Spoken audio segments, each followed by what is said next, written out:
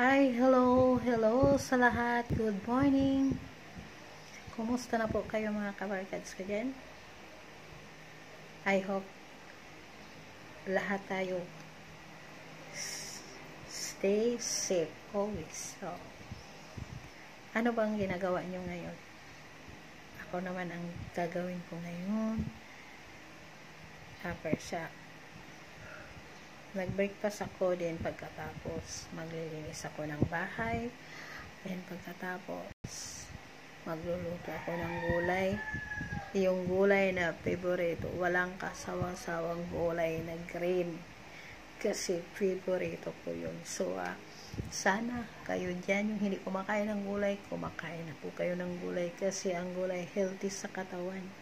Yun ang sinasabang ang, ang gulay ay pampahaba ng buhay. so, sana uh, tayo nag-iingat tayo lagi lalo na ngayon uh, meron pa rin uh, pandemic sa atin. So delikado pa rin. So huwag tayong matamad magsuot ng face shield. Tuwing alis tayo kailangan magsuot tayo ng face shield okay?